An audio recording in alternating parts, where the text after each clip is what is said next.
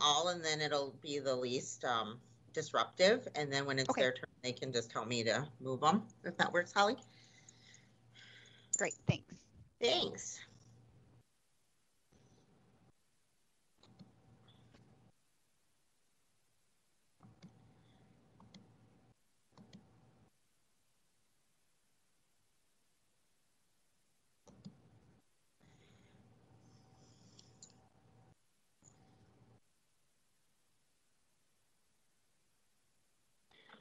Just going to give folks a couple more minutes to join us here.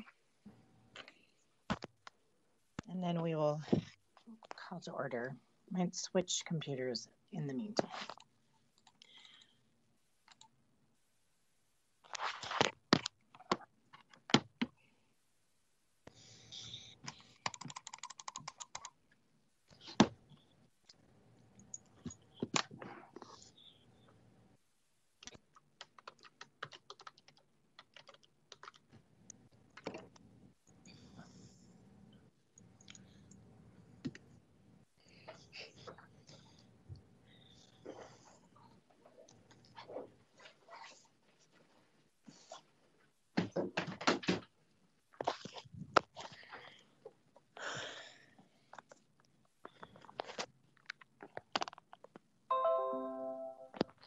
Good morning, um, folks. I have, um, I'm having some camera issues. I'm going to work on that. Um, but I think, trying to see um, who is here.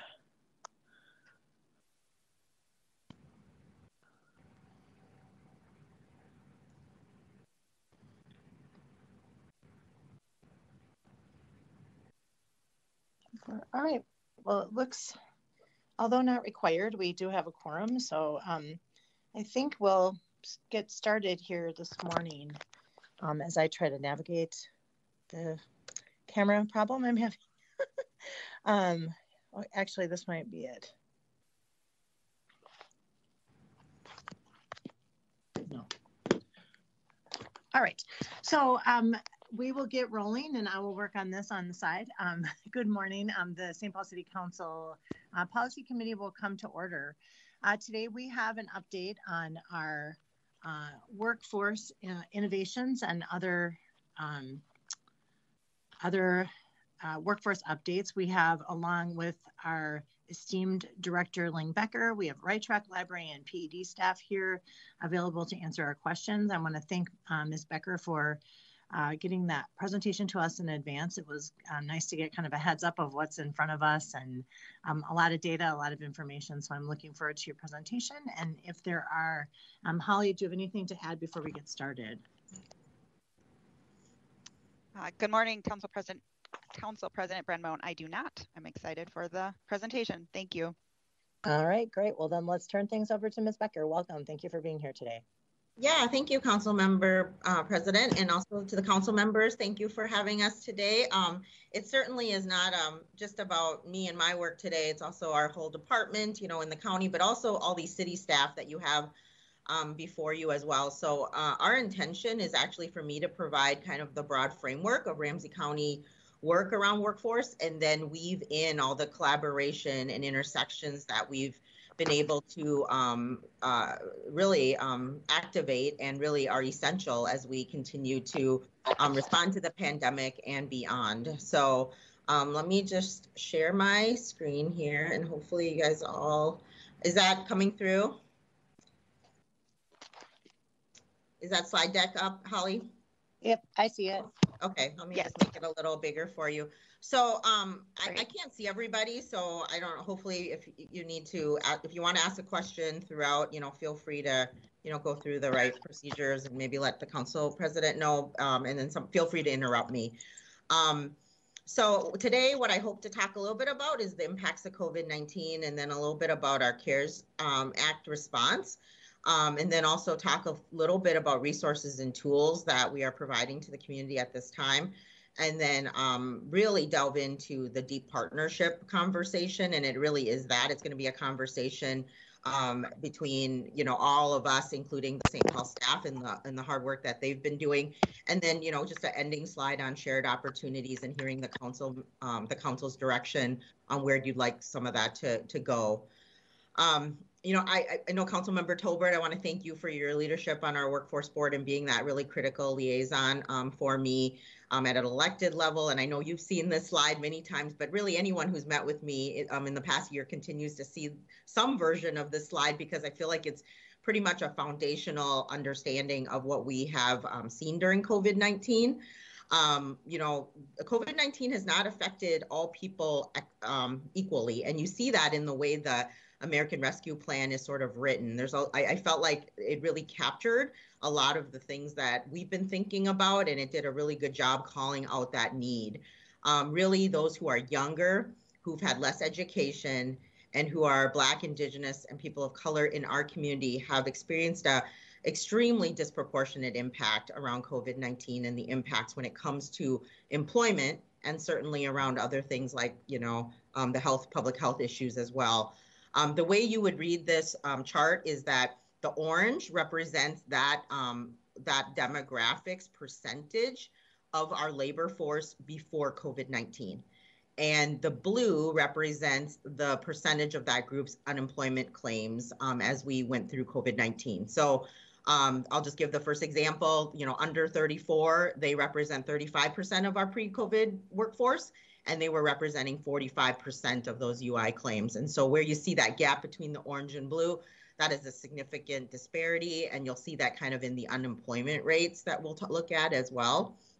Um, I was able to pull for you the St. Paul unemployment rates from kind of pre-pandemic all the way through, you know, just fairly recently, as most recent as we could get by race and ethnicity and you'll see like that that though these widening gaps right kind of during that hike of that height of that pandemic from march to october primarily. But as you see while you know the extremes have gone down um, that gap has is wide between especially the american indian community the um, black community and the um, two or more races. Those are those three high lines there um, comparatively to you know everybody else, but certainly everybody else is still significantly higher than the white population. And what I want to call out is that that width of that gap, right? So we've always had some disparity, even pre-COVID. If you look at January 19 of 2019, there was a disparity, and there always has been in the community. Um, you know that disparity has just gotten. Um, you know, if you note, there's a little closing of the gap as we were moving into COVID and and that was that really tight employment market and and and I think there was a little bit of closing of disparities but what we're seeing now is these this gap has widened once again um, to pre-pandemic levels and beyond. Um, I wanted to also call out this kind of in unemployment numbers as we, you know, just sometimes it's more relevant or easier to understand looking at a number than just looking at a graph. So comparing April to April, um, you can see that you know the white population, you know, has pretty much you know recovered um, a lot of the the unemployment impacts, and however we're seeing that you know we have significant areas to go um, still for a lot of people of color um, in our community. Um, I wanted to just share about our program participants. These would be people who are actually, you know, enrolled in workforce programs in Ramsey County. And I was able to pull out the city of St. Paul for you from 2018, 2019 to 2020. Over that three year period, we've seen, um, we were seeing a slight reduction in people being served because there was a tight job market. And now those numbers are, um, I wouldn't say they're, in, you know, they're increasing um, to the extent that we would maybe think they were. But I also think a lot of that is due to all the um, supports that are being given right now. And so this is not a, um, maybe as an accurate per, per, perception of exactly where people are at because there are things that are helping them um, maybe not be enrolled in programs um, directly. But we did see that from 2019 to 2020, we were serving, you know, a, a, a new 700 St. Paul residents that we weren't serving in the previous year. Um, certainly training and even job search went down significantly during the pandemic um, due to you know the public health concerns. We pivoted quickly to um, some virtual services, and certainly we'll talk a lot about that today as we partnered with the library on a variety of things. But um, I will say that you know people were hesitant to do some of those things during the pandemic, and we also have the digital divide, which, you know, when we pivot to more um, digital services, sometimes that doesn't catch those folks. And so we need to, to think about a, that in the future of what a hybrid kind of workforce system starts to look like. Um, I wanted to just give you a quick summary on the $15 million, which was 16% of Ramsey County's CARES funding allocation. Um, we, uh, the yellow here are all the things that served youth and young adults. I felt like that was a really great thing to just sort of point out that we had a variety of programs. We'll talk about some of them as a part of our partnership, certainly the career labs and the tech packs that we did. But we did um, 89 community contracts um, working with community-based organizations and that served youth and young adults but we you know served about 2300 youth and young adults during that really what ended up being a six month time period. I got allocated that money from our county board in late may.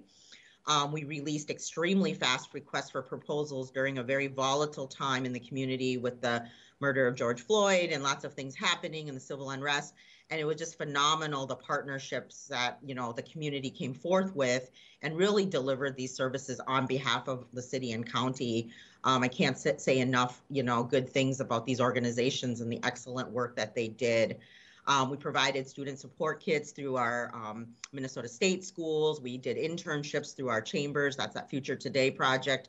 So just wanted you to kind of see the scope. We also had a resiliency fund where we gave $25,000 um, very similar to probably what you would understand as that small business relief fund that the city and county um, both did. But that was it was targeted to workforce nonprofits as a way to keep them sustainable through the pandemic, as we really need them, obviously um, today, um, to be vibrant in our community. Um, this is just a, a, quick snapshot of the youth and young adult organizations that we worked with and contracted with. You're probably familiar with a lot of them, and um, you know, and there was more, but these were the youth and young spe- young adult specific ones. And I like to show this because it really shows the community effort in helping to kind of uplift youth and young adults during a very critical time. And it demonstrates that, you know, we have amazing community partners, the ecosystem. If you drive up and down University Avenue, there's dozens of workforce organizations, and we should be really um, not only proud of that, but really I find it my role to uplift that work and, and whether it's sometimes it's funding, sometimes it's aligning, other times it's leveraging the work that they do, ensure there's alignment um, amongst the organizations. I think that's really critical. Um, here are some pictures of some of the projects we did. Um, you know, you'll see one of the ones with those young men um, up at uh, up at the top. They were all getting interviews and practicing their their mock interviews and I know they got some, you know, haircuts and got, you know, learned how to tie ties. It was really great. We also did some automotive training. Um, and then the bottom one is a, just a Zoom call of um, a project that Junior Achievement did for a cohort of young people. It's a part of our CARES funding as well. Um, I just wanted to show you the demographics of who we served with that $15 million. As you can see, um, it was of high priority to me that we understood the impacts, which is that very first slide that um, I showed you to make sure that we were actually serving those people who've been most COVID impacted because that was the whole premise behind the CARES Act funding. So to be able to reach, you know, 92% BIPOC communities in our in our area, and also, you know, really uh, reaching into that 34 and under age group was really critical. And and that really just is a testament of those partnerships. You know, the county or even maybe the city doesn't have maybe those deep relationships in the community to know where those people are and how to connect with them, but these organizations certainly did. Um, so overall, we served an additional 8,000 people through our CARES Act funding, which is pretty much kind of how many people are generally, you know, give or take 8,000, 10,000 in a given year enrolled in workforce programming in Ramsey County. So we really doubled that, um, what we typically do in, a, in that six month period. Um, there were 5,300 residents that were engaged in some sort of community based service where they got support from a community organization um, in partnership with the library. We'll talk more about tech packs, but we distributed, you know, over 2,000 of those and just have tons of feedback on the critical value of those. Um, we delivered over 30, 13,000 services to those folks. Um, again, we pivoted to phone and web-based services, so we did field about 4,500 calls. Um, um, and then, you know, in-person career labs, which we'll talk about, you know, served an additional 1,300 residents. And you'll see those are very diverse residents in our community where digital divide is very real. Um, 20% found a job while receiving these services. And I would say that that's a good number considering, you know, it was hard to find public um, safe jobs. And a lot of our people who were impacted, the reason why they couldn't pivot to a job at home is they didn't have the digital skills to be able to do the jobs that maybe even were available and public, you know, um, safe from COVID-19 during that time. Um, I, I, I know the slide is hard to read, but really this slide kind of speaks for itself. If I can just give you a little context, this is actually occupation gaps in our community. And this was run actually before COVID in late 2019. And I just want to demonstrate that the occupation gaps that we have in our community existed before COVID 19. What COVID 19 has done is accelerated what was already going to happen, maybe over the next five years, was the prediction, but rather now we have to respond with a new urgency. So, what you see in the blue are, are where we have too many people working in jobs of fast food counter workers, cashiers, waiter, waitresses, customer service reps, um, stockers, team assemblers. These all pay 43K or less in our community, and they only require a high school education or less. Where our businesses and our economy has a shortage as we look into the next five years are the these orange red jobs here and these all jobs pay 70,000 or higher and they require an associate degree or higher so the i think the case for upskilling is um, strong it was going to be something I was going to bring to the city council and to our county board for consideration as to how we strategize that. And I know the work of the city has already been strategizing that as you think about MSP tech hire and some of the other great work that the departments are doing. But we need to accelerate this because the change accelerated a lot faster than we were prepared for. So that's where that economic competitiveness and inclusion plan comes in, right? So I hope that you guys can see all the linkages of why it's so important for us to create a strong tax base and be economically competitive is to really you know have a more inclusive economy that allows people who've been very impacted by covid-19 to get out of these front end jobs that pay very little and actually but they can't do that without skills and they can't do it without upskilling. And our, and our businesses are seeing that as well. Um, resources and tools, I just wanted to tell you we run a robust job board. I can make sure. Um, yeah. I'm sorry. Before you move on, um, I see um, Ms. Noecker had her hand up and Mr. Tolbert as well. So let's sure. just um, yeah, pause. let's do. We'll do a pause at maybe those transitions. I apologize, Council Member okay. President. That's okay. Yeah. Thanks. Thanks so much, Council President. And Ms. Becker, one of the advantages of sending your PowerPoint slides in advance is we know when the uh, transition points are, so we know when to raise our hand. So I was, I was timing it appropriately. Um, this is fascinating information. I really appreciate that you brought up the point about upskilling. I feel like we have talked about this in, with, with your predecessor and in previous mm-hmm. conversations about not just getting into any job, but getting into a, a job that pays a living wage and ideally much more than a living wage and that offers the opportunity for career advancement. Um, can you, I know you said you were thinking about presenting that to the county and to us. Can you give us just even a, a taste of what that upskilling would look like? Because to me, that that is really the key is is measuring how many folks get into jobs that that pay them a competitive wage where they can stay and where they can advance. Yeah, excellent question, Council Member um, Noecker. Um, so, I mean, Council Member Tolbert and I just had a conversation about this yesterday. Actually, you know, it's really thinking about an investment in people as a city that's really, you know, you have an Office of Financial Empowerment, right? Like we're trying to put resources into the hands of people. Training and social networks and a lot of the things that people need to be competitive in these jobs, they're not accessible to people who don't have the resources. And so I think it's really, you know, what I hope to bring forth at some point is thinking about a training program that actually allows people to be paid while they are going through training because it's an investment in them, right? We do a lot of investments when it comes to land buildings, capital, things that are physical investments, right? And and yet we have people here who are, you know, true assets to our community. And I think we really do have to pivot trying to think of how we can create learn and earn models where people who traditionally are not able to take time off and upskill to really be able to take a pause in their life, kind of isolate some of the other mitigating factors that make it very challenging to enroll in training and how to make that a reality for them. And that's really where I hope to link the county in in terms of the other holistic supports that people need, like whether it's housing, whether it's mental health services, whether it's social services, whatever, you know, like work impacts everything and everything impacts work. And I think we have to start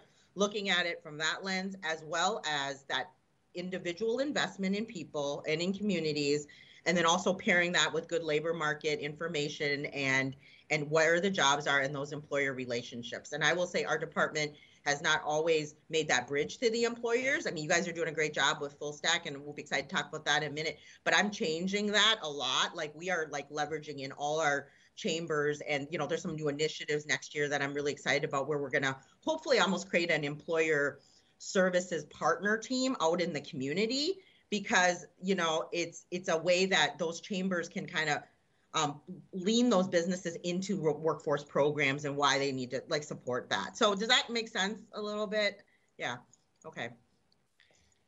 Yeah, it's interesting too. Like thinking about the um, the labor unions have done a good job of doing mm-hmm. that kind of on the job training and you know starting out at a, a livable wage and then continuing to go up as you're going through their program so you can do the pro so hopefully we're, we're learning from what they've done and how those programs are funded as well. Um, mm-hmm. um, but i absolutely agree. It's like sometimes you're stuck in a, a cycle and you can't go to get more training because you simply can't afford to. Mm-hmm. um, so i appreciate those thoughts. Uh, mr tolbert. Yeah my comments are similar to those of um, councilmember noecker and actually um, ms becker probably articulated better than i will but i just i think it is important to um, recognize the change and, and a really important change of not just placing someone in a job and moving on, but giving someone a career that can be self-sustaining and family-sustaining, um, support, family supporting wages. Um, I think MSP Tech Hire is probably the most um, il- illustrative of the changes for someone's income that you can see. But every industry is like that, and some you know we know we know the industries that need workers that have jobs ready if if if a person can get an accreditation a degree um, or a certification depending on the on the types of jobs. We know the major six industries that that need that and helping people get whether it's a, to become a cna or to become um, a coder or to um, you know become a plumber those accreditations are what changes someone's life and and quite frankly the um, their ability to provide for themselves and their family rather than just a job. And i appreciate um, Ling how you've done such a wonderful job of changing from just a job-based program to a career pathways program. I think that's the future. I mean one of the things um, i think that people in minnesota um, and, and st paul know is our best assets are people. Mm-hmm. and historically we haven't invested in everybody in minnesota but we have invested in people, and that's why Minnesota can be competitive. We don't have oil like some states, but we have people, and that's why we have a high per capita income. The key now is making sure that everybody um, has the opportunity to be invested in in, in St. Paul. But um, I continue to say our best investment is people, and this career pathways push is is the key um, to the future. So thank you for making that a, a priority. I think it's an important change. Um, also, I know it's going to come back to it, but since we passed it, I do want to um, also recognize, I think it's important, this tech pack idea, which, um, you know, I think, Ling, it came out of your head. I remember when you told me about it and you're like, I want to start this. And I was like, sounds like a great idea. And you went and ran with it and worked with, our, with the city on it. And it, it has been a great, it has been a great thing. Um, it has um, helped people have jobs. It has helped people get the tech, some of the tech access that they need. Um, so I just, I think people should recognize what a cool idea it was and it actually is being implemented. So um, just to recognize that. Yeah, thank you, Council Member. Um, I, will have to share the credit actually, though, with Rebecca Ryan and Catherine Penkert. I mean, this is the beauty of some of the conversations we're going to talk about today.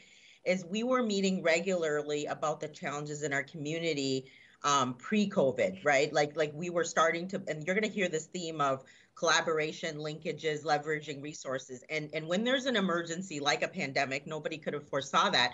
We weren't starting from scratch. We've already were talking about what were the barriers and we built a trusting relationship to be able to share those ideas. So we were able to activate on them almost shelf, not quite shelf ready, but I mean, in some ways it is kind of nice to have those relationships where you have some shelf ready things so that in a case of an emergency or situation where some funding comes your way, you're, you're ready to pivot. And so I appreciate that.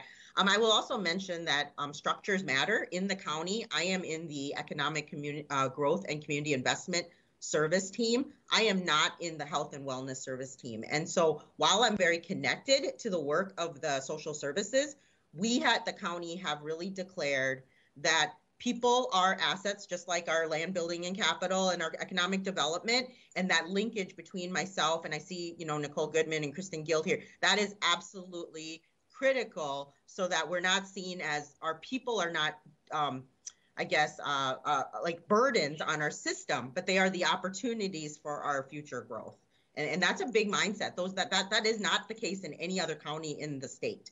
And that is worth i think noteworthy. So um, Council member, should I just, is there any more questions or should I go back to the? It looks good. It looks good. I, I think um, just on that last point you made, I, one thing that's always been profound in my mind is that we're the youngest county. Yes, also. and most diverse. yeah. So like it, it's um we I feel like we talked about this um, you know, maybe even five years ago where it's like, let's stop talking about this as a deficit let's mm-hmm. start talking about it as an asset. I mean, we mm-hmm. have a ready workforce. And so I, I really agree. I'm seconding what I'm hearing my colleagues saying, what I'm hearing you saying about the, the partners you're working with, that when you shift your mindset and start re- recognizing that in a way we're at a huge advantage in our state, mm-hmm. um, that mm-hmm. kind of changes the way we play the game. So I, I really appreciate yeah, this. Absolutely. And every workforce program should have an off ramp to entrepreneurship, in my opinion. And one reason that I kind of got convinced of that is, you know, Mary Rick has introduced me to a ton of entrepreneurs, which is amazing. But to be able to hear from our MFIP young adults who are 24 and under with a couple kids under 10, eh, there are so many of them that are interested in entrepreneurship. And why can't they be, right? I mean, the dreams and aspirations is really the most critical thing that I think we get to tap into. And then our job is to make sure we reduce the barriers and put them on a continuum to be able to reach that. You know, they might not get there on day one, but that that path is available and it's it's a part of our program. So exciting. Um, I, I you know I've really appreciated um, the those some of those introductions. Um, all right, so we'll go. We'll kind of switch gears just for one minute um, and share a bit about our resources. Um, I can send this to Holly, but if for some reason you haven't checked out our Job Connect page, we rebuilt a new job board recently and it's been so flexible and beneficial. It's got a mapping feature so people can zoom in on a neighborhood, see where there's jobs. We're currently leveraging it in like 10 different ways around a job fair we're doing in the Midway, around a initiative we're doing with Visit St. Paul. So it, it just allows me to do a lot more for employers with that job board. Also on that um, Ramsey County Means Business page is also a training dashboard I think as of you know yesterday, there was like 60 trainings on there that are free. You can see them um, by industry. They're being offered by community organizations like Goodwill Easter Seals, Hmong American Partnership. You know, all kinds of organizations in our community that people can tap into. And also on there is like a whole listing of all our workforce partners. We're building out career pathway pages for all the school districts. Um, we're currently working with all the Minnesota state system um, schools, Metro, Century, and St. Paul College to add content onto the page that they would like to have see. So it's just really one stop for employers and job seekers to sort of have this intersection. And, and we really built that out because the whole page of Ramsey County Business was driven by our economic development department. But again, it's not just about incentives, land, and building. When businesses come and are considering St. Paul and Ramsey County, they want to actually see that we're we're we are in the business of upskilling we are in the business of trying to create a, a talent pool for them and this is a really important demonstration of that um, some of the current employer needs and i'm sure you've been hearing them there are major hiring challenges i've been talking to businesses a lot um, we're doing lots of virtual job fairs. I know you've been getting some of that information. Virtual job fairs are not the perfect answer. They don't work for everybody, but they have been pretty productive through the pandemic. Um, we collaborate with some of the other metro area area counties so that we're not all trying to recreate the wheel because in a virtual world we don't you know we can kind of leverage resources and funnel um, job seekers and employers to one place collectively but um, at the last construction job fair, I believe there was like 1,200 attendees and, you know, like 37 or 40 companies from throughout the metro. Um, we have our first mid uh, midway. It's our first in-person job fair. Uh, we felt it was very appropriate that it's in the midway. It will be at Allianz Field on the 29th. Um, it's 10 to 2. I would encourage you to stop by. We have lots of employers that are going to be there. There's going to be a mobile vaccine bus that'll be there as well. So we're really excited to partner with Allianz and the um, Midway Chamber on that event. Um, you know, in partnership with uh, Mary Rick and some of the work she's been doing, um, we were able to connect with Visit St. Paul. And so we're working on a hospitality initiative right now. Um, I need to update this. I don't think it's going to be July. It's going to be in August. But what you're, I mean, we will appreciate you helping share. But there's going to be a whole campaign around hospitality workers and appreciating them while also sharing about all the jobs that are available in our community in restaurants and um, hotels. And this, they do not have the time to come to a job fair. This was a direct response to what I heard from them and from Hospitality Minnesota that said, we do not want a job fair. We want a place where, you know, we can have everybody go to and see what we have available. And I will say they need tools. They are not used to filling out like job descriptions really in some of these jobs. They kind of post on things like, you know, Craigslist, word of mouth, and this is a new challenge for them. So we're really trying to step up and and support them through the summer. Um, the last thing I wanted to mention around employer needs is um, our workforce board is going to be launching an inclusive workplaces cohort. And so um, we're going to do this with the Center for Economic Inclusion. We have an application that's going to go live here shortly after the 4th of July. It's been um, vetted and created in partnership with the businesses that are on the workforce board. Um, we are going to serve up to 20 businesses, um, preference given to those who have 100 employees or less. They will all go through a 10 month cohort learning experience and um, end with a capstone project that could mean a policy change in their business, could mean that they're going to launch a new initiative. But really, what we're hearing is that small and mid sized businesses do not have enough resources to really grapple with how diversity, equity, and inclusion should be implemented and leveraged in their workplace. And as the most diverse county in the state, we want to make sure we have many businesses that are doing this well. So um, this is it's free for the businesses that participate, and um, we will be excited to have the council share that opportunity to um, businesses that you are in contact with in the community. Um, this might be a good time for questions. Let me see what mine. Yeah, is there any questions? I don't see any hands up. All right. Um, this will be the fun part. So um, so partnerships, I think, you know, absolutely critical. No workforce program in the country is going to be successful without um, leaning into all the partners because limit, you know, resources are scarce. Um, and there are so many rich resources kind of in the community that just need more alignment. And so I hope I'm hoping I, this is a, a, statement that I can make that we have a collaborative vision around economic competitiveness and workforce inclusion. The city might put it slightly different, but I think we all agree with the premise that we want to have a vibrant, competitive economy. And one tool to do that, and, and one important value to all of us, is this workforce inclusion.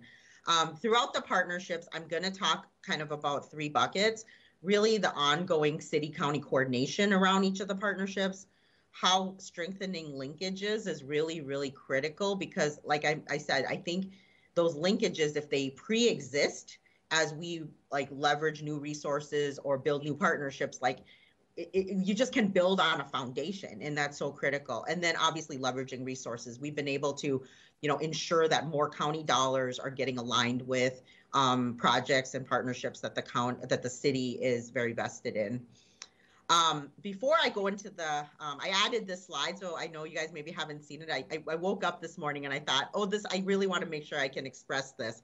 Um, it's really important for you to see the city partnerships that I'm doing, but the why of, of me being a bridge, I think is really critical. So the next slide, I mean, and you've seen the preview, you're going to see the partnerships, right? That where I'm, I'm kind of in a place to support and help um, in every way I can.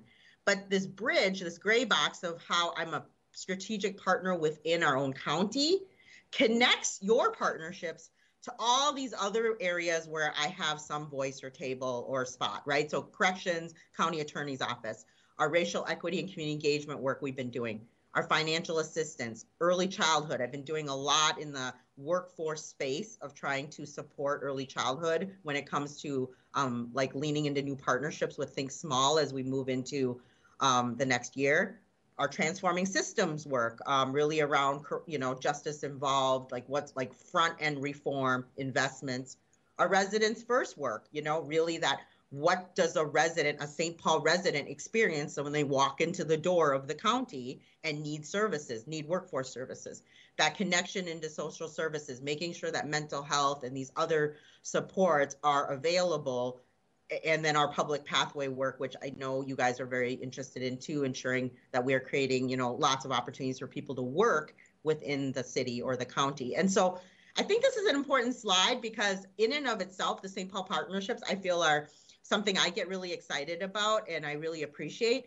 But I hope that, you know, this slide just shows that that important linkage that, you know, while maybe Spark, you know, like for example, Council Member Noecker might be, you know, connected to workforce, you're also then like more connected to our early childhood work because of that. So that's just an example.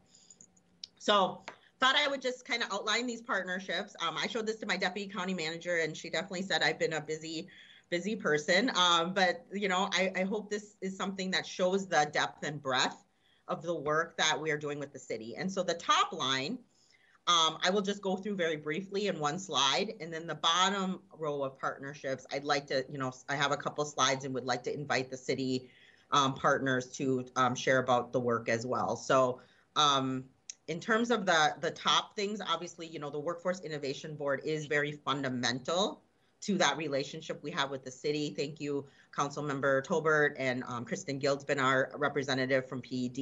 You know that co-appointing of board members is is really uh, an important function and something that we shouldn't take lightly.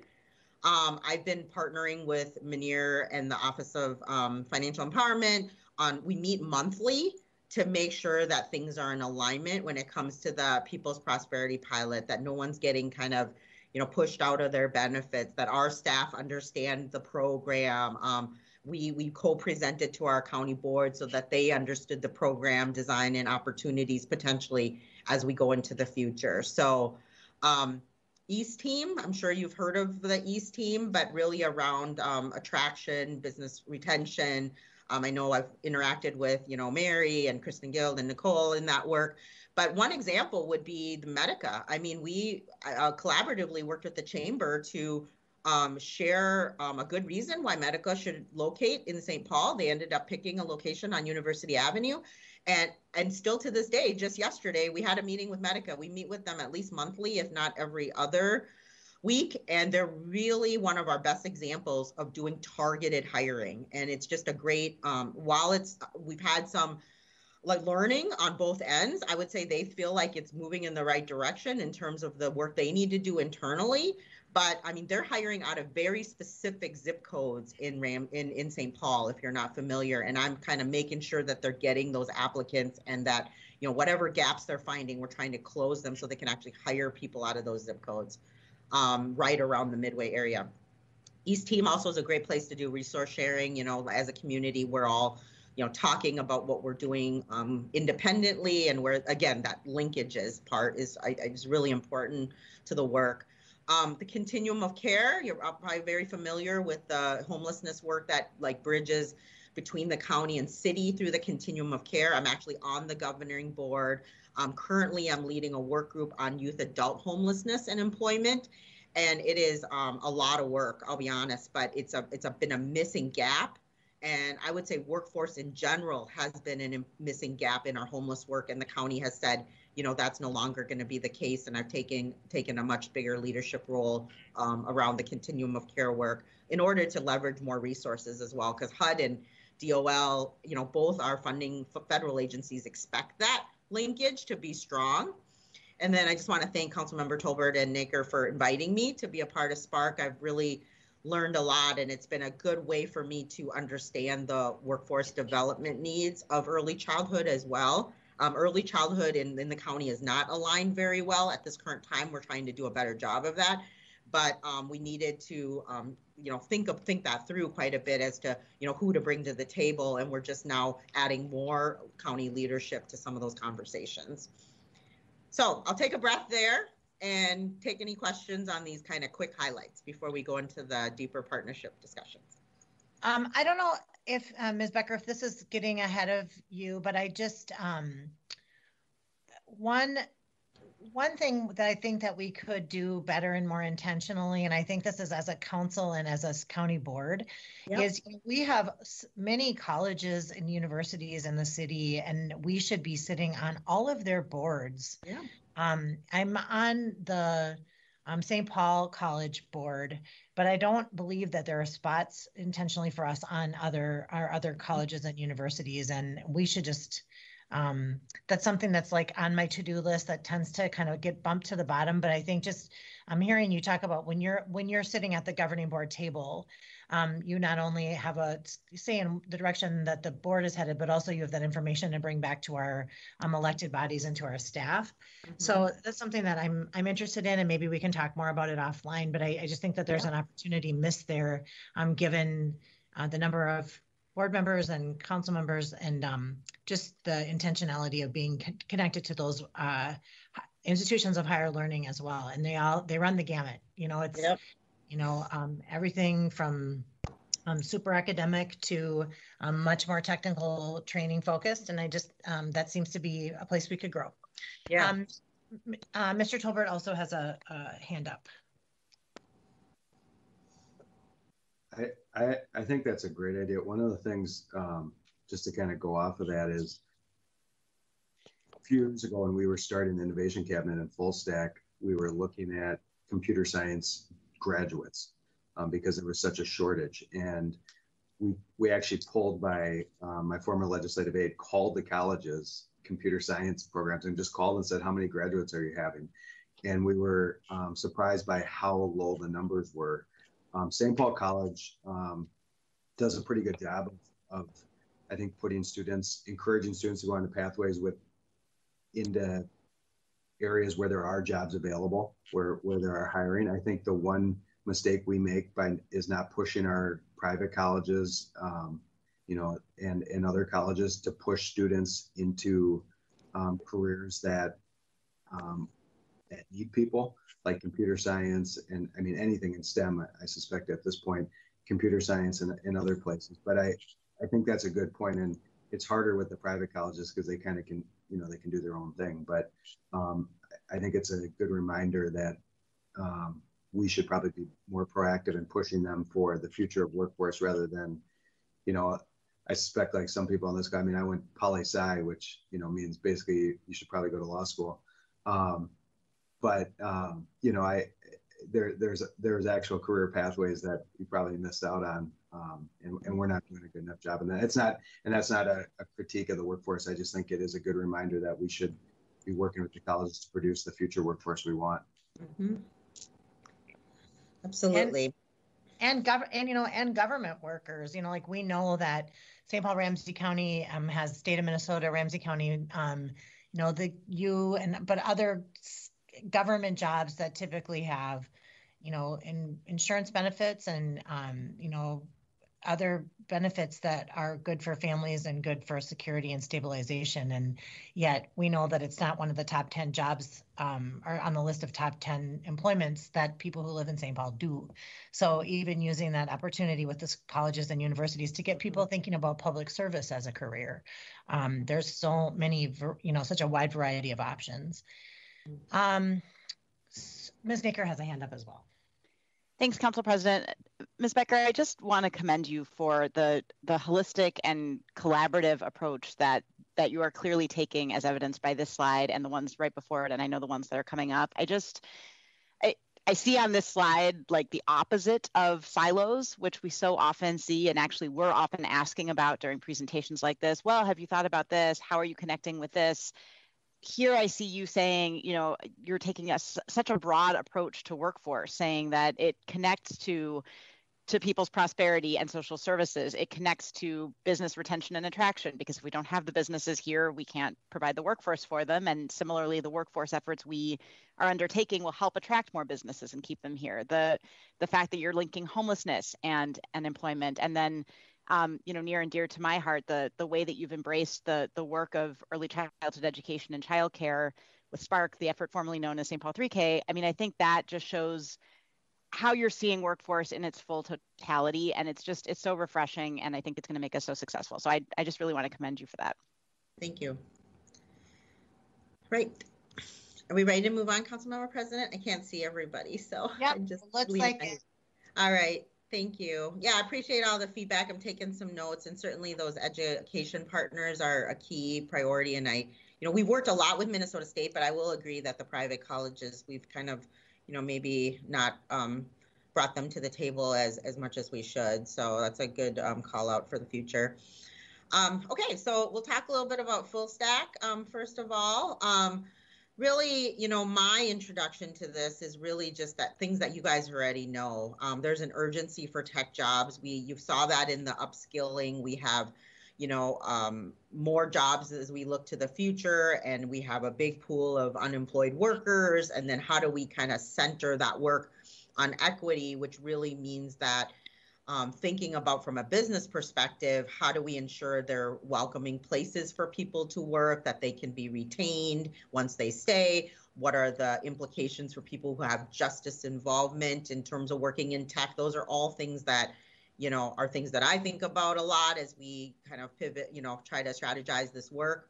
We know there's some misalignments as that, you know, this is going to impact our, our, our, our growth in this sector, that there's the skills training that's needed, that um, we don't, there's a digital divide, um, you know, obviously that is very big. And I think as a county and city and school district, there will have to be more conversations about how to, through whether it's adult basic ed or through, you know the count some of the counties work through the libraries or the st paul libraries like how are we all going to work together to close that gap for people we know where there are there's lack of access and um, digital literacy and equipment and i think that's that beauty of that tech pack model was that we've heard time and time again that you know you can try to solve for one of them but that actually doesn't solve the problem people need that you know what we've calling calling the three legs of a stool um, you know, we have a lot of assets in Ramsey County. You guys mentioned some of the schools. I mean, we have lots of training programs. We have a lot of community organizations doing the, some of this work.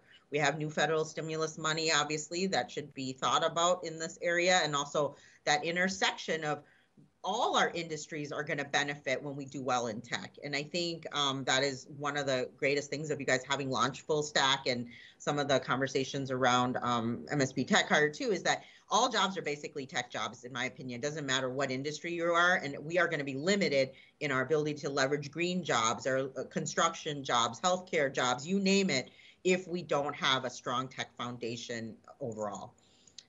Um, demand's really high. These are good jobs. You know, we just ran this recently with real time talent, but the wages and the impacts of COVID really haven't affected IT demand um, very substantially. A lot of people, if anything, we all need more IT than we've ever needed, right? So if there's a there's a lot of potential here.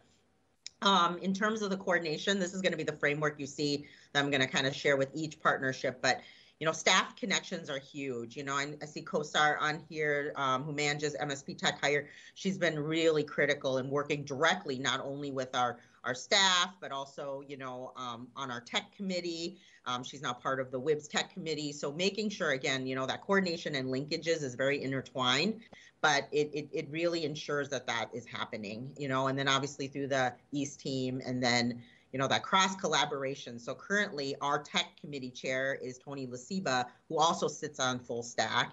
And and i think it's just that intersection that we don't want you to work in a silo. We want to make sure we understand what you're doing so that if there's a way that we can you know leverage resources or make a better linkage that that, that just happens so naturally um, lots of labor market information i think more than ever people have in historically just kind of discounted labor market information now we need it more than ever we need it fast we need it current and um and even you know council member tolbert uh, called me yesterday and we talked a little bit about you know residents and really job seekers and what they're kind of feeling and saying. And we're going to have to tackle that as well. So it's the combination of what businesses are saying, what job seekers are saying. Many people, you know, worked in hospitality and they're saying, I don't want to do that anymore. Well, what is it that they want to do? And, and where are they starting from? And those are all really important things. Um, I think the tech area is certainly a great pathway to entrepreneurship. Um, the city is very fortunate to have such a great amount of startup um, kind of ecosystem. And I know Mary was a big part of that. And I, I, just being able to lean into that as a workforce director and not start from scratch um, and her, for her to be able to see that there's a linkage, it just took us, you know, we aren't starting at like the one yard line. We were already starting at the 50. So it was really, those are really important. And then making sure that we're always leveraging the WIOA dollars for you. And I think um, in the, the city presentation, they'll talk a little bit about that. And again, those other supports, housing, childcare, all those other things. Like we can have the best training program we can, but if they people are not being served holistically, they will probably struggle to be successful. So Mary or Kosar, one of you want to take over? Yeah, thank you, Ling. Council President Brendmoen, council members, good morning. Um, I'm going to just have brief remarks on, on just this one slide and then pass to Kosar Mohammed, um, who is our tech hire manager. Um, but you know, wanted to wanted to start off with the the handoff from Ling and you know thank Ling for her brilliant partnership and energy and uh, it's just been incredible incredible to be able to work with her and and and see you in this role and we collectively have have been flourishing and it's just been so exciting to be able to do so much more together um, so definitely wanted to lead with that and and also um, you know, been strengthening many of our city relationships and partnerships as well. So, you know, it was, it was a, you know, it was a, I think an important process of even putting this presentation together, um, kind of showing the, the new level of collaboration, you know, between the different partners. Um, but as you, as you can kind of see from this slide, I've, I've, I've listed the, the full stack mission. Um, today, we're just focusing really on the people strategic pillar um, around, uh, you know, so the, the three strategic pillars coming out of the innovation cabinet people, places, and promotion. But we've really refined our, our, mission, you know, to, to be this powerful one around, you know, leveraging tech and innovation to drive sustainable, equitable economic development in St. Paul. And this goal that, that I've put up on this slide, it, you know, and the language was pulled from the three-year report um, Holly actually sent that three year report following our most recent economic development presentation. So if you want to pull up the whole three year report for your reference, but this was one of those uh, one of those achievements that I think just highlights the different ways that we're looking at supporting tech talent and people in both attracting jobs, expanding jobs, training our tech workforce, and accelerating leaders. And you know, the, the leadership bucket is you know definitely connected to a lot of the startup work and ecosystem that that Ling was referring to. Um, you know, I think important to note, uh, you know, on the, the left side of the slide, you can see a number of the jobs and, and postings that were added, um, which is something to celebrate, but uh, we're, we're still we're still very much missing the mark when it does come to all the placements and the placement gaps and the landing of those jobs. And a much more recent report from Real Time Talent uh, showed, as, as Ling was, was teeing up in some of these other slides, that these gaps are just accelerating in terms of do we have people really trained and qualified to take on these jobs? But the jobs and the need itself has been accelerating and accelerating. And some of that is certainly natural market forces um, but we've been really leaning in as a as a PED team to say, oh, this is you know a company that needs to be connected to full stack, or this has a you know similar kind of full stack vision. Um, obviously, you know, I, I also fully agree with Ling that so many of our jobs now are tech jobs, right? Like you, you, you know, whether you're whether you're working in a in a warehouse, um, you know, or in healthcare, or frankly in hospitality. So um, there's just such an immense need and opportunity. Um, and you know, before before passing to Kosar, who's going to go in, into more detail about MSP Tech Hire and, and what we've been leaning into um, on that front, I also just want to say on our our promotion our promotion strategic pillar for Full Stack, we're excited that we're we're about to launch a new website in the next one to two weeks.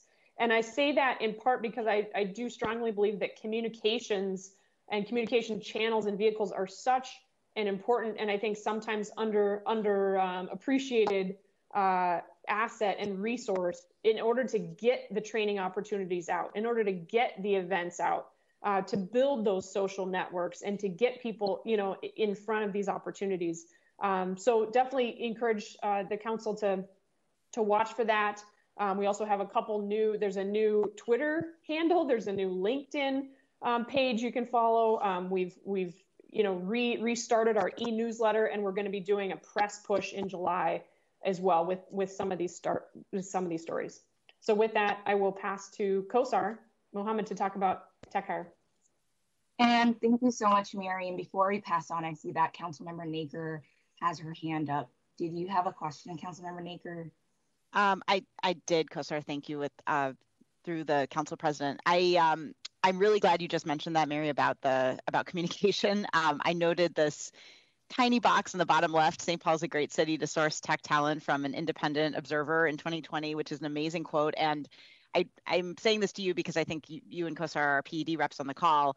I know we talked about this in the economic development update, but given all the conversation we're having about the, the intersectionality of workforce and business ret- retention and attraction, it seems like on our city website, on the businesses tab, we should have find employees, right? Or or hire, hi, I want to hire, and to have that connection back to the county, because for the average business owner opening up, they're not thinking about it as county does workforce, city does full stack and other things and grants it's it's one and the same and so mm-hmm. i could see that quote being a huge banner across the you know the job mm-hmm. section of the city website and i just would encourage you and your team to really think about that communication on all jobs not just not just full stack mm-hmm. great point thank you Thank you, Mary. Good morning, Council Member President Brendmoen and Council members. My, my name is Kosar Mohammed. I serve as a project manager on the Planning and Economic Development team, where I manage Full Stack's workforce development arm, MSP Tech Hire. So, as Mary was explaining, the strategic pillar around people, we're really working to develop people through the MSP Tech Hire Scholarship Program.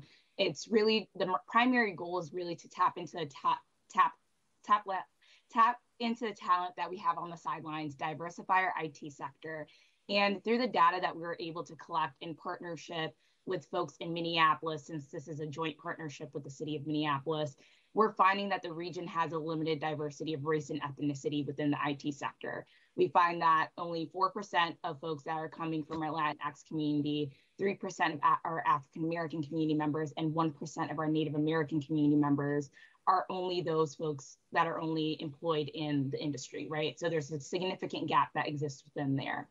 Since 2015, we found that the MSP Tech Hire program, in partnership with Minneapolis, has trained over 2,500 students and has employed 1,700 participants who have joined the MSP Tech Hire program through our scholarships. And those folks have been employed in high wage tech positions. Mary, if you can, or Ling. For this piece, MSP Tech Hire is able to partner various pieces through accelerated tech training, where we work with Software Guild, IT Ready as well as Prime Digital. They offer training to folks around full stack engineering, UX programming, as well as Java and C Sharp.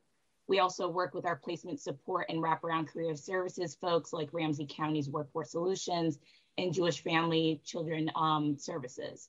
Through the partnership with the City of St. Paul and Minneapolis through MSP Tech Hire, we're able to really focus strategically on supporting folks who are underrepresented communities in tech through these scholarships and being able to recognize who are the folks who are un and underemployed, as well as the communities that we would define as underrepresented in tech. So that's POCI folks, women, and persons with disabil disabilities, right?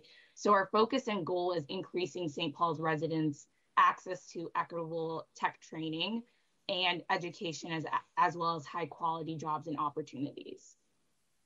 Next slide, please. So what is our impact and strategy that we're focusing on?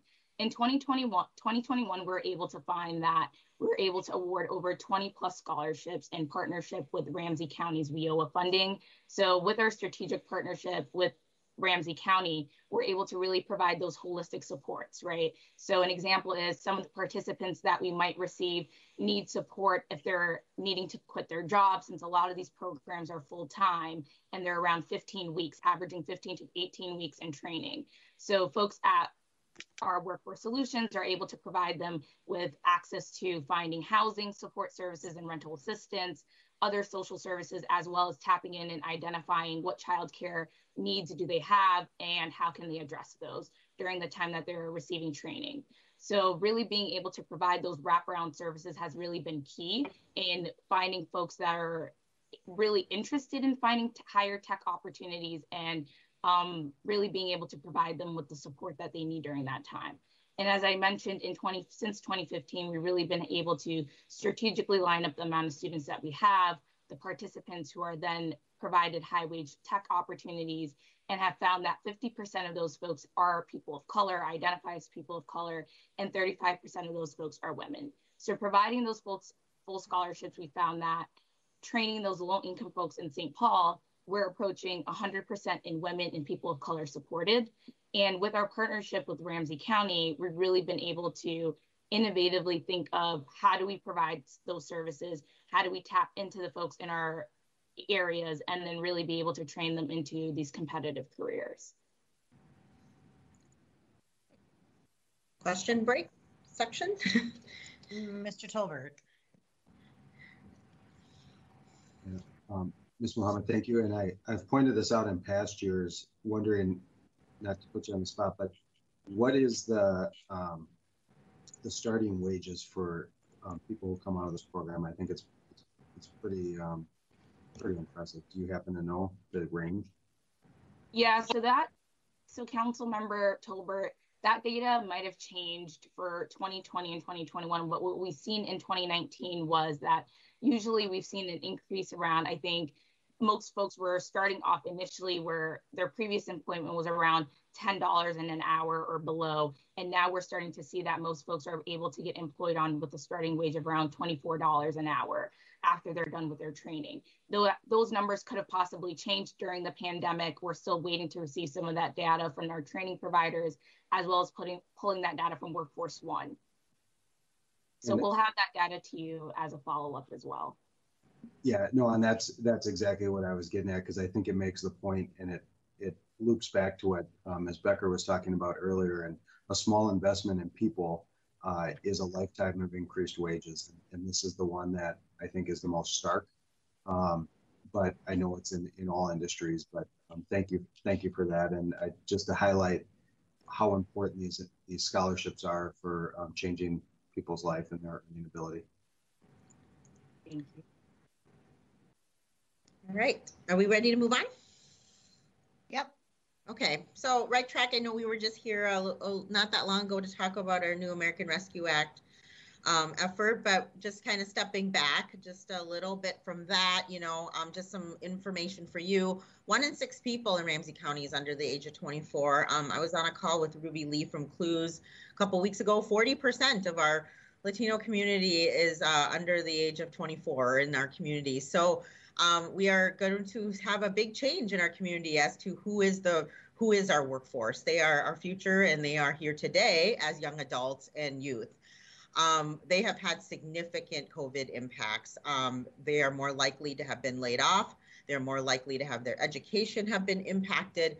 Um, this idea of scarring is one of the main reasons why I had a most compelling case for our county board to spend as much money as we did around CARES that while we always want to see long-term outcomes really for young youth and young adults when there's a very traumatic um, thing that happens it's really the scarring factor where you know it kind of builds on top of each other as they're kind of having more and more things impact them. So the ability to connect them with a community-based organization doing something positive connected to other people mentors it's, it's absolutely critical. And any sort of um, detriment to that impacts their future wages you know kind of like this investment of people, it almost has the opposite effect when we don't invest in youth and young adults. We actually see then, you know, that the what results in future years. Um, obviously, we are totally focused on our future workforce, which is this youth and young adults. The highest um, kind of demand careers, really, and this is very broad, but this came from our labor market information, is in these variety of areas. And then we need to kind of figure out how to align this with our industry partnerships, with the right schooling, with the right interests of the young people themselves. And I'm just really grateful for Erica Prosser and Shana Abram for their collaborative work with us. Um, our county city coordination is again lots of staff connections, regular meetings, and that is why we were able to stand up that Right Track Plus very quickly. Um, it, it just it, it just happened naturally because we were already in relationship with each other. I think um, the linkages just ensure um, that we are making sure we're serving opportunity youth um, that are involved in county systems, that there's a connection to broader workforce ecosystems, right? It's not necessarily Shana and Erica's job full time to maybe connect with ABE and vocational rehab and you know all the community colleges, but it is my job, and so it is that linkages that we provide. And I think um, we also then bring those employer relationships, both the city economic development department and the county, and, and sort of how to leverage that and, and really provide suburban business opportunities to St. Paul residents as well.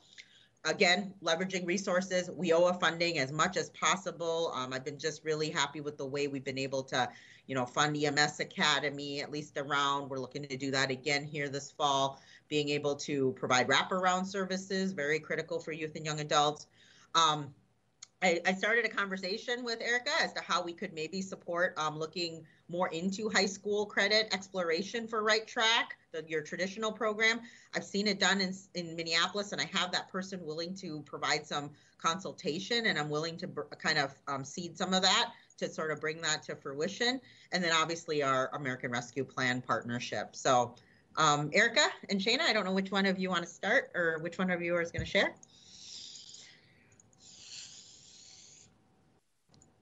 Um, I think I can start for this slide. Uh, council President and Council members, thanks for having us here today.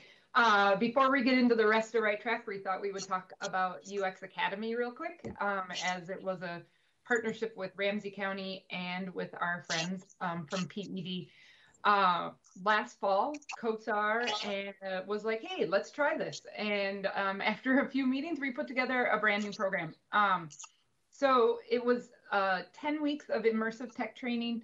Uh, there was actually two weeks of pre-training. Um, we did a part-time orientation for for the first two weeks, then 10 weeks of the full-time work. Uh, the young people were paid $400 a week uh, during the 10 weeks. they were we were able to purchase them all a MacBook Pro, laptop that they were able to keep at the end of the program. So not only did they have the tools they needed during the program, they had um, something they could use with to use afterwards. Um, and they've all been placed and have started internships this week, um, this summer. So we had eight young people who started the program and eight young people who successfully completed the program, which was really, really exciting. Um, it was definitely a collaborative effort uh, between our partners at Prime, MSP Tech Hire Ramsey, and and then our job coach who uh, was there every step of the way during during the process this spring. So really excited about the results of this. Um, and I think we can move on to the next slide. Um, so we do have some highlights. I don't know that we necessarily have enough time to show the video, but um, I think you all have the slides. So follow the link. It's actually Ethan speaking at last year or at the, the graduation for UX Academy um, just last uh, a couple weeks ago. So it's a it's a quick bit of his presentation um, on what the Academy meant to him and, and how Right Track has been a part of his life for the last four or five years.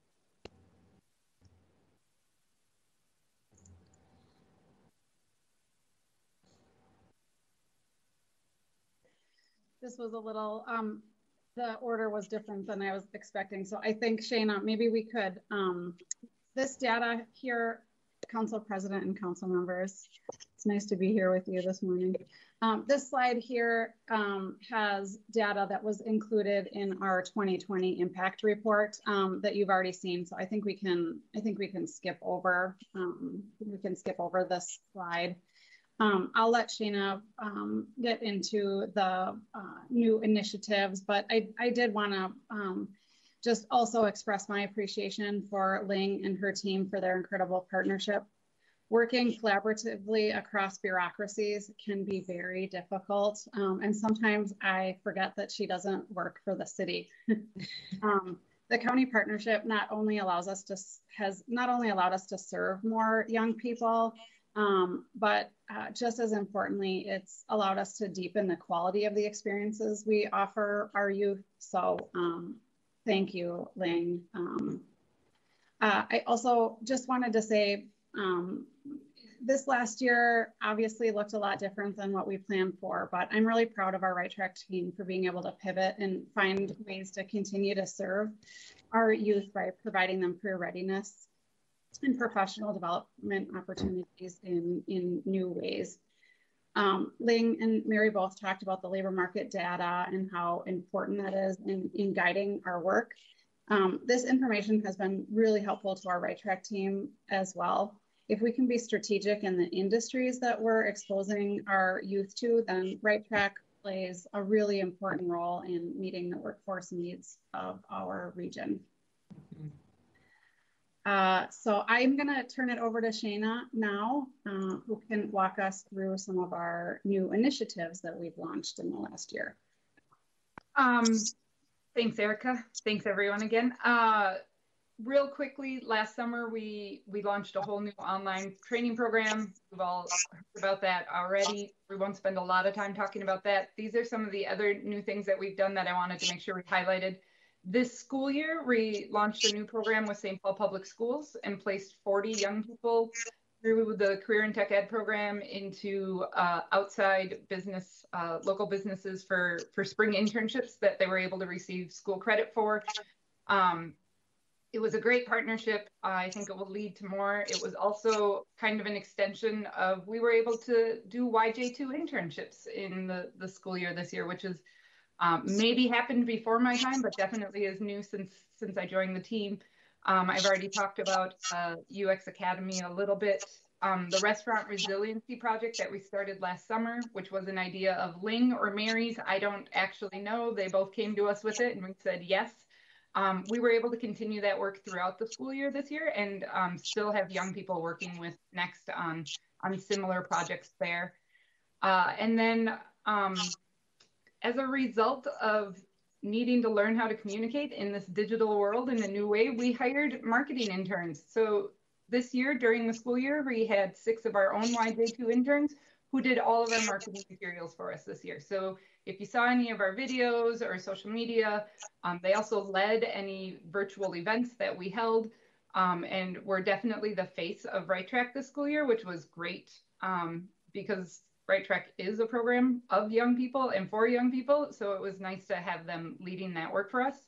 And then in a response to, to COVID, um, we also uh, were able to support a lot of young people having their first time jobs doing food distribution at the various um, rec centers uh, throughout the city, which ended up being a really great way for 14 and 15 year olds to learn how to have a job. So we were happy to be able to support that work in, in, in multiple capacities not on this list of new initiatives, but you're all familiar with because we just presented about it recently, is the Youth on Boards initiative, which we're very excited about.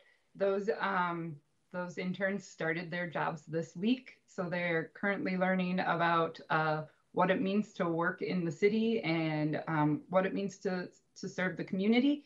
Um, you may be hearing from us in the near future about uh, participating in some of their training or learning opportunities as we move forward. Um, Erica, do you have anything else to add to this slide? Uh, just obviously right, the Right Track Plus uh, program is also a new initiative. That's it. All right. And then um, and then a few more things. Uh, so happening right now, uh, the traditional YJ1 and YJ2 programs launched last week with orientation and training and launch days, and young people started working yesterday, Monday this week. Uh, we anticipate having about 750 to 800 young people involved in programming this summer. Um, in either a YJ1, a YJ2 job, or the six week uh, professional development series that we started last year uh, we're doing that again this year. We had about 150 young people opt into that program before even asking for an internship. Um, I, I, think it it's a great option for families who weren't sure about safety concerns this summer. So we're happy to provide that. Um, we'll continue to provide the six-week professional development series in the future, um, hopefully on, on smaller scales, but definitely gearing towards those young people who didn't get placed in, in internships the, their first year. Um, a really new, exciting program that just started in, in earnest this week is uh, the Four Directions Summer Bridge Program.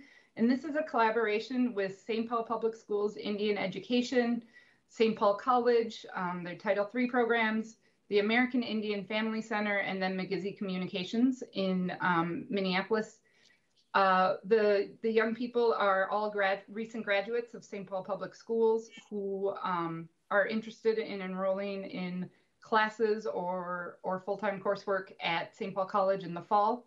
This is a, a an eight-week summer program. They are doing an internship two days a week, and then the other two days of the week, they spend time um, in St. Paul College's traditional bridge program to prepare students um, to start school.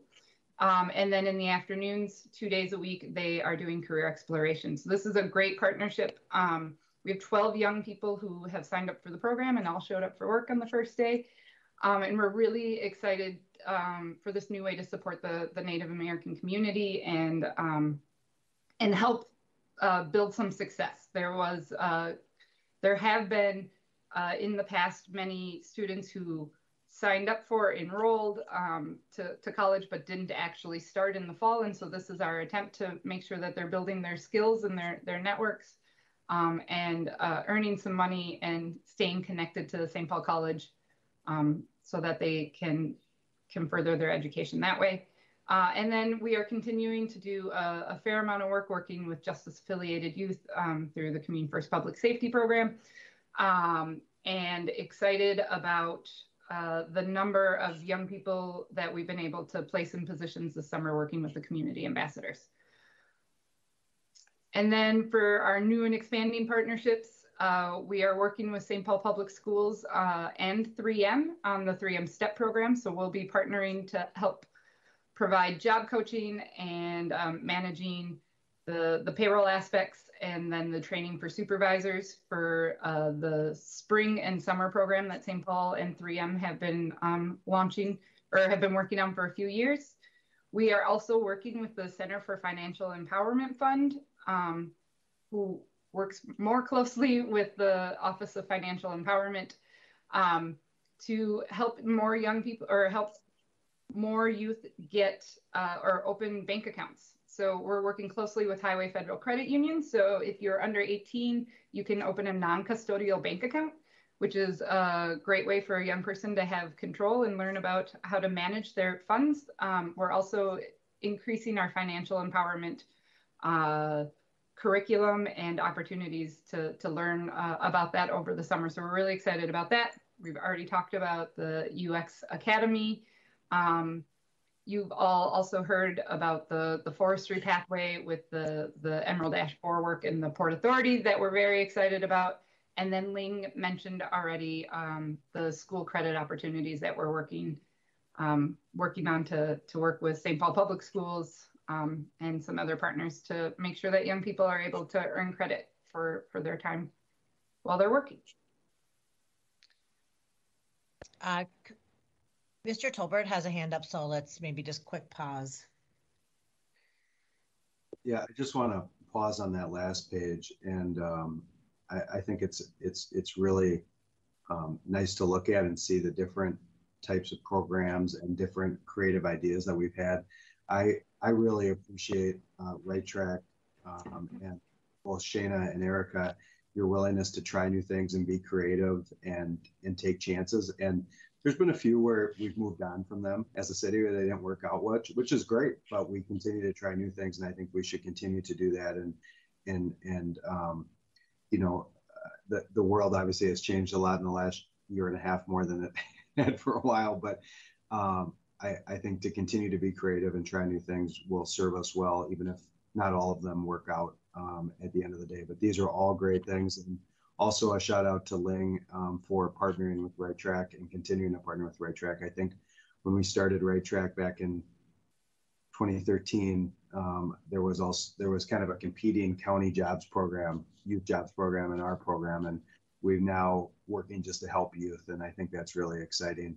Um, I I will continue to say I know I've obviously it shouldn't be your top priority this summer as as we're trying to get kids placed and in, in job placements, but long term, now that we're about seven years into this program, I would love to see, you know, where some of those first graduates are at now that they're probably done with college and into their own careers. I that's that's my selfish interest, but uh, but I think everybody here would would enjoy finding out where are they now because I suspect um, we we've helped set some people on sailing into great careers, uh, that they're hopefully coming back and helping the next generation of right track employees uh, uh, get into their their business or wherever they're working now. So, anyways, thank you guys for your creativity on this. I appreciate it.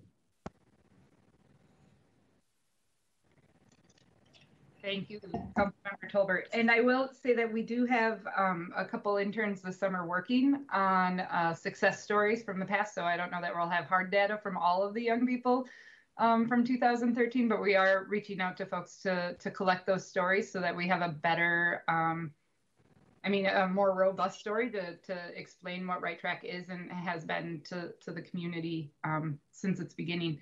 Uh, I believe this is our last slide, which is just really uh, a thank you to all of the partners and folks who have supported Right Track um, for many years, but in particular this year, uh, we've been able to, to do as much as we have from sitting in our homes because of all of all of our partners. So that includes uh, Ling and the, the team at Ramsey County, many, many employer partners, um, uh, three months ago, we had maybe 20 in-person YJ2 jobs and we have 150 now. So there's been a big increase in the last few months. Um, and that's because our employer partners throughout the city and in the area are stepping up. Um, also, many folks in the city departments who have been able to help us. We've talked about PED. I haven't mentioned how much libraries does to support us on a daily basis and our, our friends at the, the rec centers, but also in OTC and HR. Um, we've created a whole lot of new systems this year to communicate with and collect paperwork and, and manage payroll with, and we couldn't do that without our partners. Um, and then all of our community partners, St. Paul Public Schools, um, you all and, and the mayor's office have been a big support in, in getting the word out about Right Track and, and supporting our work and um, making sure that we have the resources we need to to do that. And then, of course, I can't not mention the Department of Employment and Economic Development um, as a, a, major source of funding and, partnership for us, and then the FR Bigelow Foundation. So just a, a thank you to everyone on this call for your support. It, right Track really is a collaboration. Uh, we're a really, really small team, and the reason we get anything done is because of everybody's help.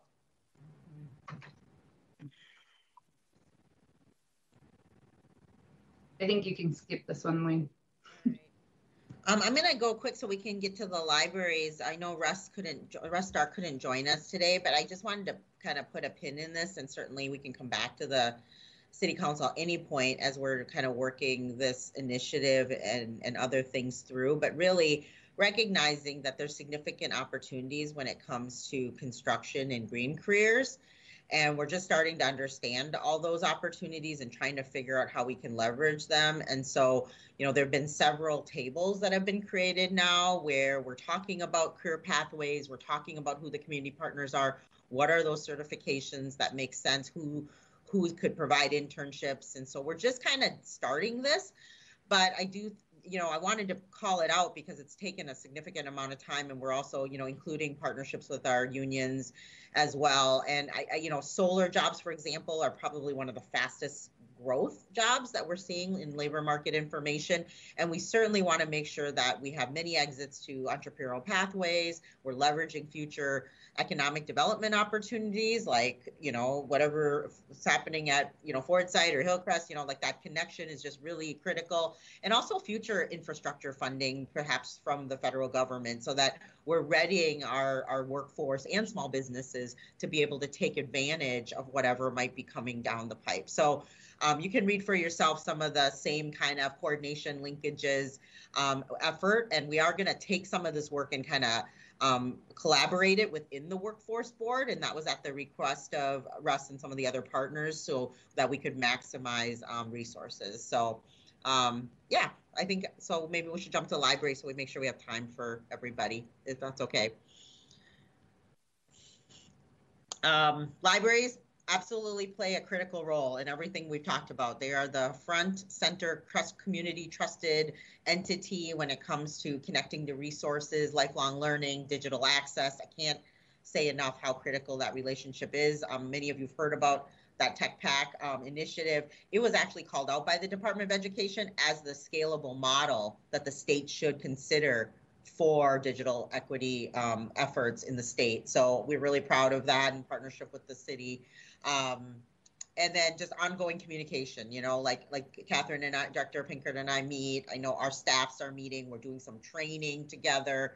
Um, catherine's also on the governor's workforce board which really makes sense in terms of like the way we sort of funnel down conversations and resources. And so without further ado i think we should just make sure we're getting time for them to talk. So rebecca and catherine and xenia i don't know which one of you are going to share but here are your slides Thank you, Ling. Thank you, council yeah. members. Um, I'm Xenia Hernandez, the Community Services Coordinator with St. Paul Public Libraries. Um, so I'll start us off with 2020. Um, in 2020, in March, uh, library staff signed, or sorry, in May, library staff signed up to support the Bridge Fund program and answered over 3,000 calls.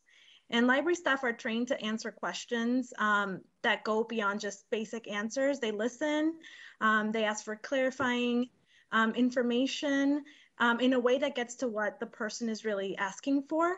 They listen for referral possibilities and follow up.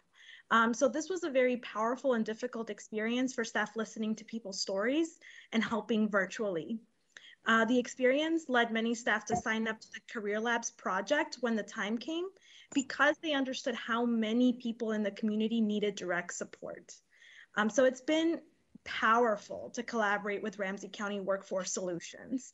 Um, we did this through a few ways through collaborative training sessions regarding workforce services in the county in the county and elsewhere um, staff were able to better understand how the workforce ecosystem works and also understand their role which is an entry point as ling said and a first point of contact for referrals of all of our partnerships um, so we collaborated on the Tech Pack uh, project um, and distributed 792 Tech Packs um, through St. Public Libraries, though the number was more. We stood up in-person career lab spaces at four of our library branches, Rondo, Dayton's Bluff, Sunray, and Rice Street. Um, and job seekers had access to computers, Wi-Fi, and to people. At one point, this was the only in-person workforce support in the whole state. So it was a substantial pivot for many of our staff, our spaces, and our duties. Um, and we were able to support over 760 individuals with career lab appointments. And they really reflected the demographics that were most impacted uh, by the pandemic. Um, we can go on to the next slide. Um, so just a few images of one of our career lab spaces at Dayton's Bluff, and you can see some tech packs um, down at the bottom. These were a lot of tech packs um, with a lot of good stuff in them. Um, but just really importantly, this was not an easy or risk-free process for staff. Um, however, our staff were willing to innovate and to provide the necessary community services and to keep each other and community members safe. So at the beginning, staff used laser laser pointers to help people from a distance. And then later on, we were able to secure software that allowed us to help people remotely. But overall, staff created welcoming and safe spaces and assisted the job seekers that were most impacted by COVID 19. So in a regular library context, the number of appointments might seem small, but in a pandemic context, with so many opportunities being closed and a lot of hoops to jump through, this is where where people came for assistance and we were there for our community when they really needed us. Um, and uh, we'll, I'll turn it over to Rebecca. Next slide. Good morning, Council President and council members. Thank you, Sonia. And thank you to Ling and the rest of the Ramsey County Workforce Solutions team. It's been so impactful for us to partner um, and to think about our services differently and integrate them better for our community. These are a couple of um, Tech Pack quotes that we found impactful, some stories of um, folks who came to our career labs. Um, I went and helped distribute Tech Pack this was really the height of the pandemic, November and December, when we were primarily distributing at Dayton's Bluff. And this one woman came in and I went through the process with her. And then she said, Wait a minute, you mean I get to keep this? Um, and she hadn't realized she thought she was signing up to, you know, have it until COVID was over or something like that. And, and then she just turned to me and said, This is my Christmas. Um, and so I was, I shouldn't have been shocked because that's what we see in the libraries, right? In, the in the sense that all jobs are tech jobs, all tasks are tech tasks, and they're not actually designed to be accessible for folks um, who don't have home connectivity, who don't have a device that's easy to use, and who don't um, necessarily have the digital skills to pivot to use those. Um, so I'm going to transition to talking about 2021. So we are continuing our Career Labs work um, through the Community De Development Block Grant funding. Um, we've had about 760 appointments. Um, as we open our library doors um, for in-person support, we just know the power of that place in the community that's trusted for people to walk in. And so our numbers have been rising, and we have just added a fifth location at Arlington Hills Community Center last week. Um, so we're starting small, but we're really excited. So the things that we've been seeing Career Lab um, users do, job search, write resumes, talk about their job goals, set up Zoom interviews, and in some cases have a quiet space to um, hold that Zoom interview, call unemployment and job coaches, complete new hire paperwork, and then some distance learning and workforce training um, that they aren't able to complete at home, or in some cases, they just need some support to, to get through the computer applications.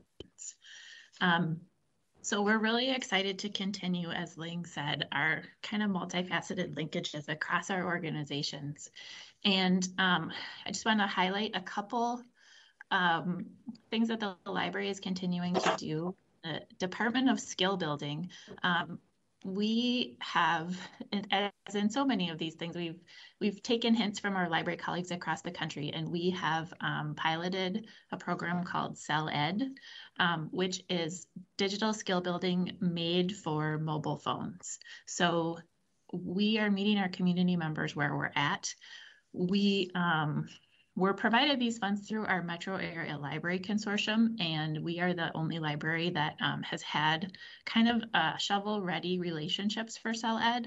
So currently we have 77 learners skill building on mobile. They're quick, five-minute lessons that you can do on your phone. It's GED, computer, citizenship, English language learning. Um, I believe CellEd is rolling out a medical career pathway.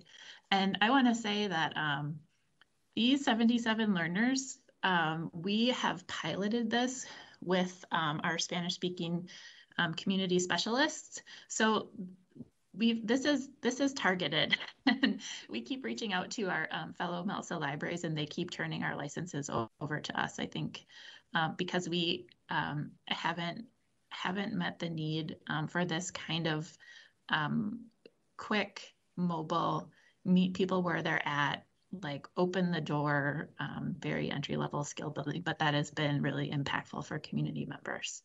Um, and then the next thing that we're doing is we got some funding from the Library Services and Technology Act to stand up some specific digital navigators in the library.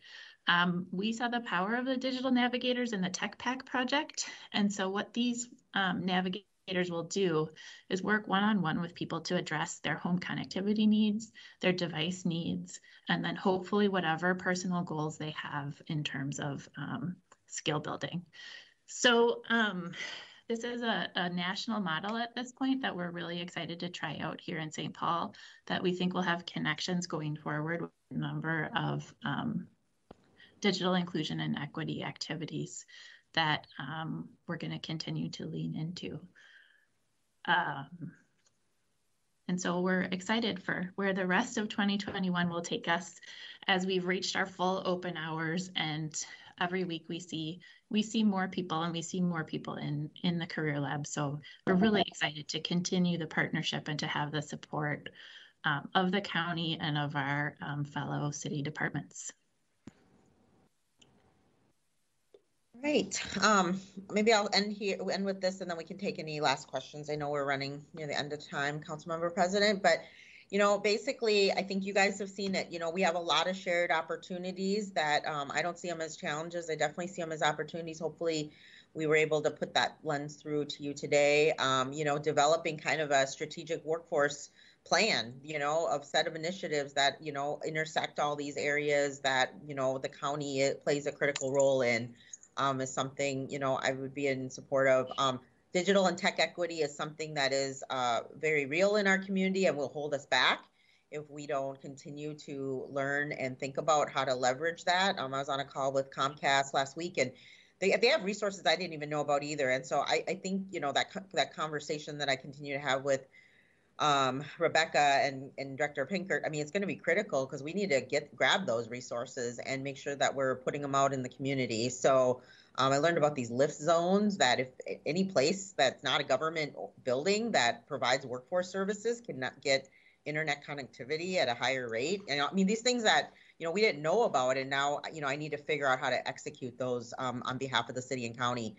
Uh, more holistic approach. I mean, you know that, you know, even pre-pandemic, you know, lots of things were holding back our residents, and those barriers still exist today and they did not get better due to COVID, they got worse. And so, this intersection of housing and the other workforce supports, and what we're really talking about is family and individual stability in order to be successful at education and training. Um, entrepreneurship tied to workforce development, and then that upskilling, investment in people, acceleration toward the future of work, leveraging, you know, whether it's ARP or other sources of funding I, I, I think the opportunity is um, is here for us, and if we can, you know, work collaboratively together, I, I truly believe we could have different outcomes in this community. So, um, I'll end with that and take any questions, or I'm sure everybody else would take questions too. So let me let me see how to not share here. Sorry. All right, that was a very long. Thank you for your little extension of time.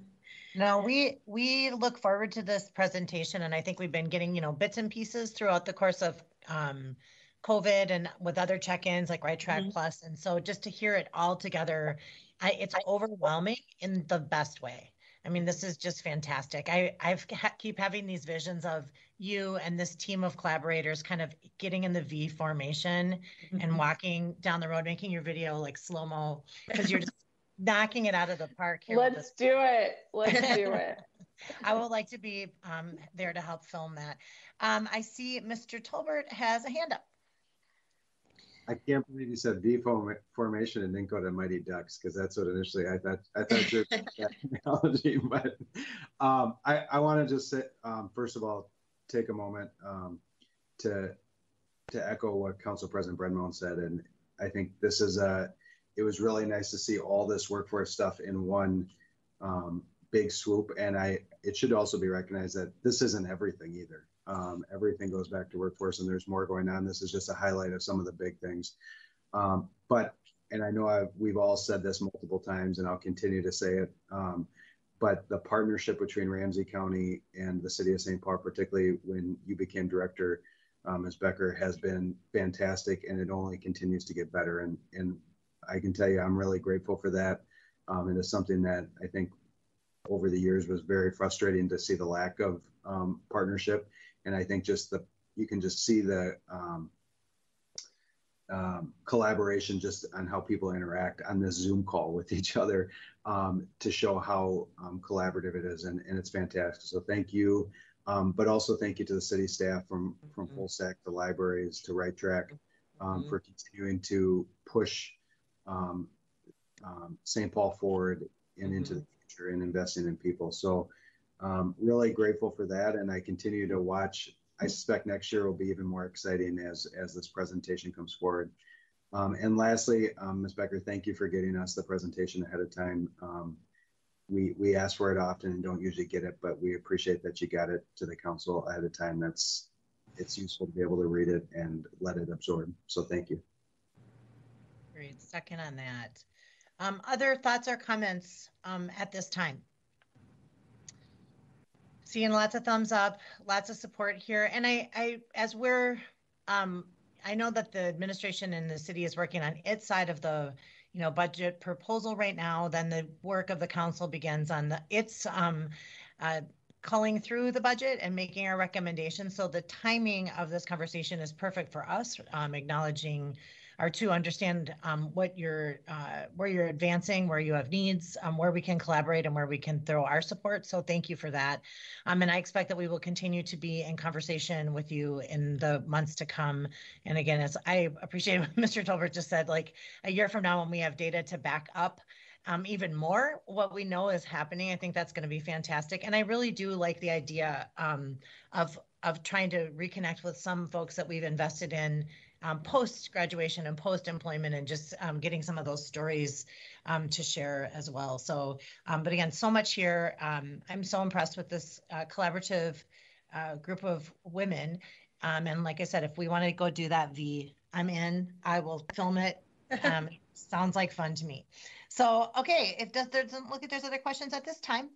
but as I said, we will be in touch as we go collaborative yeah. the rest this year. Thank you so much for having me. And I'll just end by saying, you know, I, I do hope the staff and the council um, realizes I am also the city's workforce director. I'm here to help you have those linkages.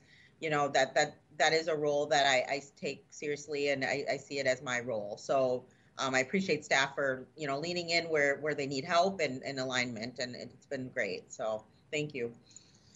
That's that's a refreshing take. Thank you. We appreciate it. All right. Before we adjourn, Holly, is there anything you um, would like to add about upcoming uh, conversations or uh, or Oregon policy committees in the weeks to come, or a budget update? Uh, Council President Brendmoen, council members. Um, next week is a fifth Wednesday, so there's no meeting. And then on July 7th, we will have um, an organizational meeting at 10 a.m. And um, I'm forgetting the first topic. Um, but there's a short topic, and then uh, PED is joining us for planning uh, strategy update. Fantastic. All right. Thank you. Um, council meets again today at 2 and again at 3.30. So we'll see folks later. And again, thank you to our presenters and collaborators here today. We're so impressed. Thank All you. right. We, we are adjourned.